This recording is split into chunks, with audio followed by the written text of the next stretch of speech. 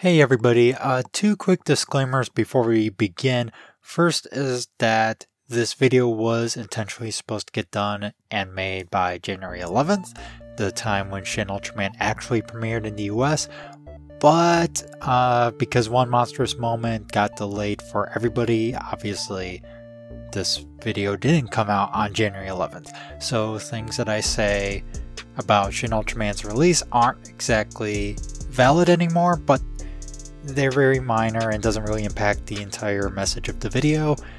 But I do allude to Shin Ultraman's theatrical release, so there's that. And the second disclaimer is that this video is not going to be really heavily edited. Uh, that's because the Ultra Q video that came out about a week ago when this video is supposed to come out, unless one monstrous moment gets delayed the second time. Uh, but yeah, uh, the Ultra Q video that I just made, editing wise, really kicked my butt. So I kind of need a break from something, you know, some like actual serious editing. So this is going to be pretty rough editing. I might have a picture up here and or there. Uh, but most of all, you'll just be seeing a speed drawing of the thumbnail picture that I did.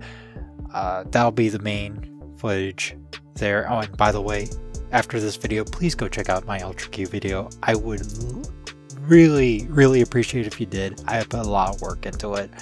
But yeah, with those out of the way, onto the video. I hope you enjoy. For my one monstrous moment, I thought it would be fitting that I choose a scene from the Ultraman franchise, especially since this is to celebrate the wide theatrical release of Shin Ultraman in the US. Also because I have talked about Ultraman multiple times on this channel. Specifically though, I'll be taking a look at a scene from the original Ultraman. While I could choose a scene from one of the episodes that's been directly adapted by Shin Ultraman, I'm instead choosing a scene that I believe has vastly impacted the entirety of the franchise, including Shin Ultraman. That scene is from episode 37 titled The Little Hero.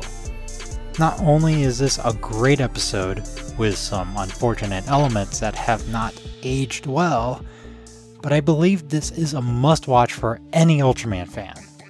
But just in case you don't feel like watching the episode or need a reminder, Here's a quick summary of what happens in the episode. An evil kaiju, Geronimon, has started to resurrect kaiju that Ultraman and the Science Patrol have previously defeated. However, Geronimon accidentally resurrected the friendly kaiju, Pigmon, who travels to Japan to warn the Science Patrol about the oncoming disaster. At the same time, best character Ide has not been acting like himself as his self-confidence is at an all-time low. Ide reveals to Hayata, who's secretly Ultraman in case you didn't know, that he no longer sees the point in fighting all these kaiju and invaders when Ultraman is the one who ends up defeating the enemy by the end. As a side note, this is a really great question, and bringing this question up so early on into the franchise just goes to show you how ahead of its time Ultraman was. Anyways, the Science Patrol heads to the island where the kaiju are being brought back to life. This is where we get to the scene I want to talk about. Hayata and Ide are attacked by the recently brought back to life Dorako. All Ide is doing is calling for Ultraman to come to the rescue and wondering why Ultraman isn't showing up. Hayata scolds Ide, telling him that Ultraman will not show up until they have tried their absolute best, but still doesn't get through to Ide. Dorako is about to come after Ide, which makes Hayata almost transform into Ultraman. But after hearing Ide continue to cry out to Ultraman, Hayata decides not to. Before Dorako can strike Ide, Pigmon pops up and distracts the brute, rescuing Ide. Unfortunately, this results in Pigmon sacrificing himself. With Pigmon's sacrifice and a hard slap from Hayata, does Ide finally gain the confidence to not only fight Dorako, but to actually defeat him with his new invention. Now, there's two reasons why I say this is the most important scene in the franchise. First is Pigmon fighting alongside the Science Patrol. While yes, this isn't the first time Pigmon sacrifices himself to protect humans, this is the first time a kaiju directly befriends and fights alongside the main cast. This gives a sense that we should strive for peace or coexistence between humans and kaiju. This will be something that we see in several other Ultraman series, even as recent as Ultraman Decker. This shows that not all kaiju are inherently evil. The second and most important reason this is the most important scene in the entire franchise is Hayata's refusal to fight as Ultraman. At least in this particular moment, because he does transform to Ultraman later on in the episode after Ide finally fights back. But anyways, this is what I believe to be the biggest distinction between Ultraman and other superheroes. Most superheroes will go to fight the villain regardless whether or not people are fighting back. In fact, most of the time it's usually the hero who's only able to fight the villains. It makes sense because those heroes are supposed to save the day.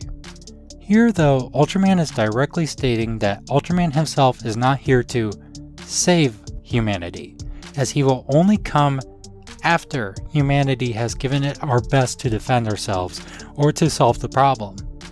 If Ultraman is not here to save us, then why does he fight to protect humanity? Ultraman does care deeply for humanity and he is here to help us when we need him, as well as teach us how to become better people.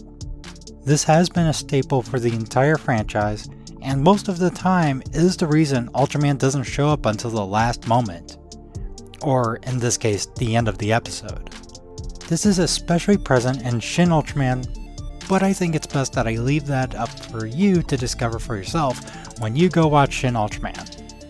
You should watch it because it's a good movie and it's literally playing in US theaters right now, so go watch it.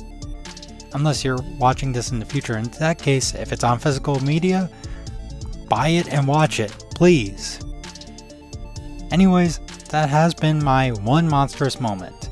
If you like this video, why don't you check out some of the other videos I've made and subscribe to check out future videos.